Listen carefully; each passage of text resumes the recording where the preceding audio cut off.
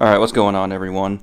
Just want to do a quick little video showing the gear that I've got together for my winter, uh, fall winter 2017 loadout.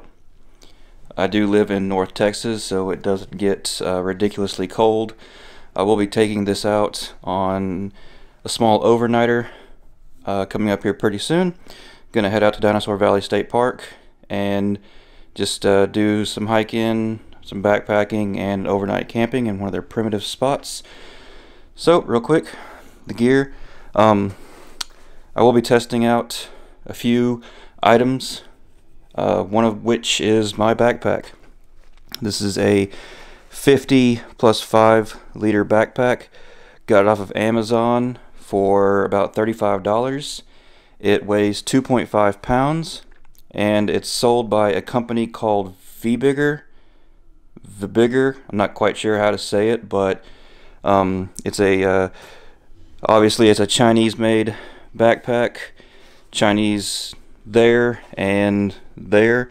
I've been seeing this logo popping up on a lot of different um, bags on Amazon. It's just some Chinese OEM that's getting sold under different names here in the U.S.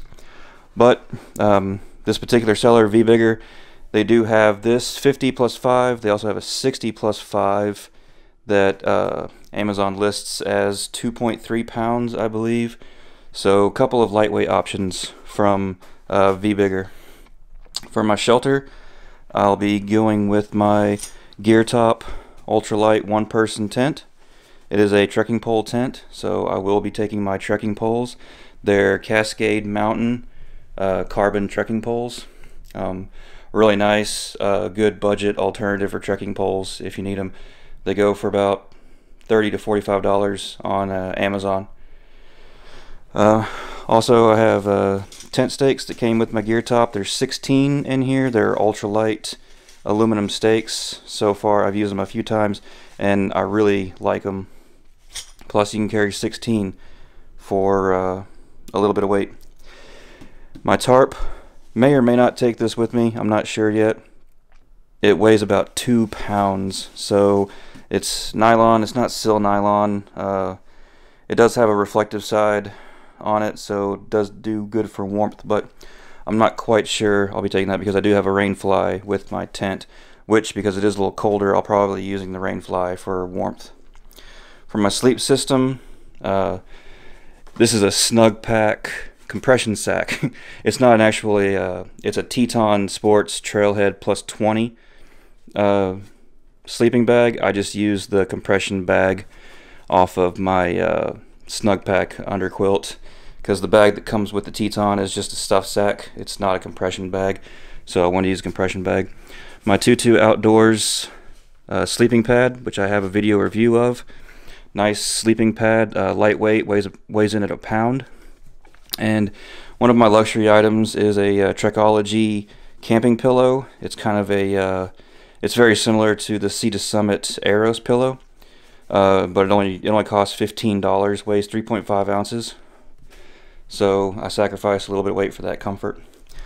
Food and water. I don't have my food yet. I'll be picking that. I'll be picking that up as I go out to the park.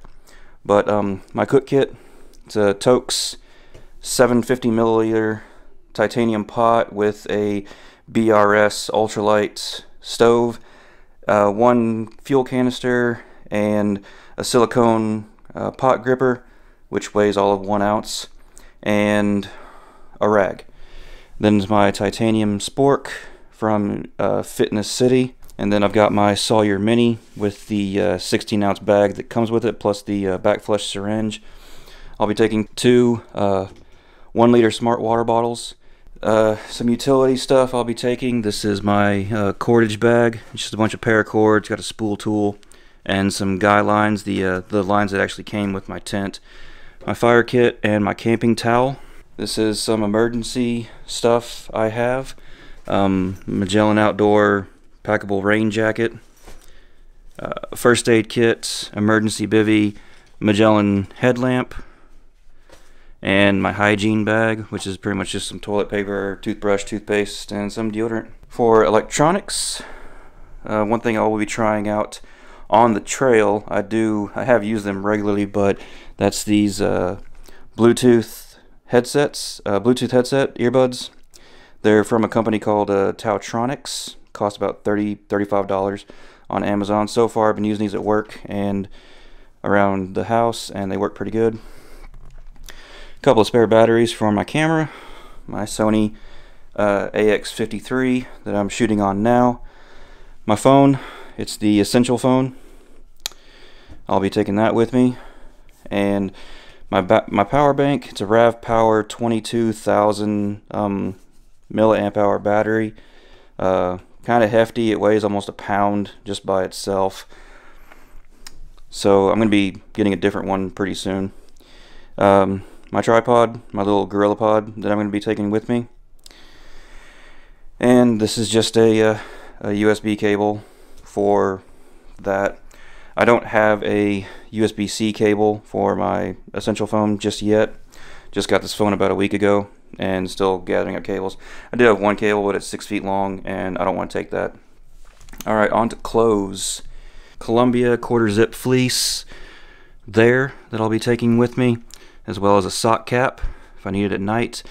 Uh, my clothes bag in it is a thermal top and bottoms, um, a warm pair of socks, change of underwear, and a spare t-shirt. So all that will be in my bag.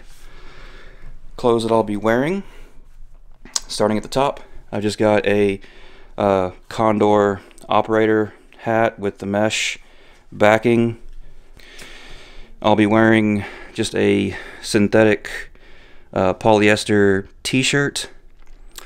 Um, some uh, compression fit uh, boxer briefs. For my pants, I'm going a little bit heavier. During the summer, I was wearing a pair of Columbia Silver Ridge hiking pants, but since it will be a little bit cooler, I'm going to go a little bit heavier. These are uh, some LA Police Gear Atlas uh, tactical pants. They're a 60-40 polycotton blend with this, uh, they're what they call their stretch tech material at key places so it stretches. And then for socks, I've got my darn tough uh, merino wool crew socks. For my shoes, I've got my Merrell Moab 2 ventilators. I've worn these a couple times already. Love these shoes. Uh, the two times I've worn them so far, they have gotten completely soaked. One time was the last time I was out at Dinosaur Valley, and I ended up wading through the Paluxy River for about a quarter mile in about um, knee to thigh high water. And so these shoes and these socks performed very well. Last time I went out was with a friend. We went to Lake Arrowhead and we went out hiking in the morning and there was so much dew that uh, shoes and socks got completely soaked. But about an hour or so later, hiking around, they dried out pretty quick. So, so far I'm really loving these socks and these shoes. Alright, so that's it for my uh, fall, early winter 2017 loadout. Be taking it out tomorrow, give it a shot, and make any changes that I need to. So thanks for checking out the video, and until the next time, see you on the trail.